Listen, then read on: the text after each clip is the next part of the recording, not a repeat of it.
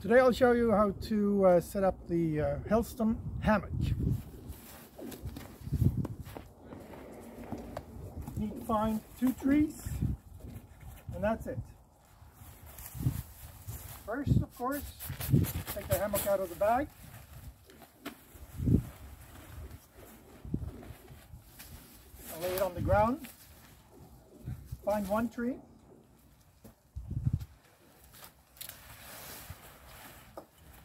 Strap around the tree.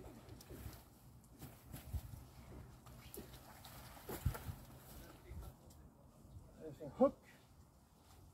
Just clip it on. That.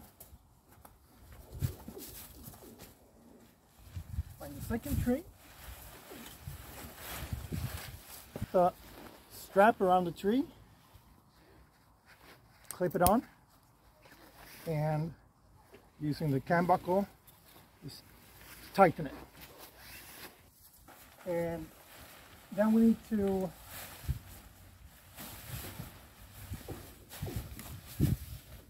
assemble the spreader bars.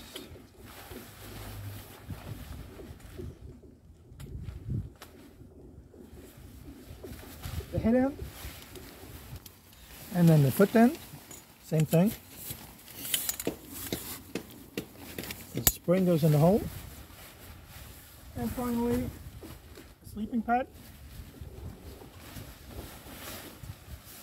We just put it into the double bottom layer.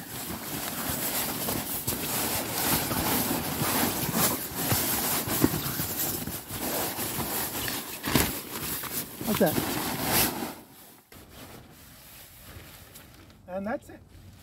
The Helsdon hammock is ready for camping.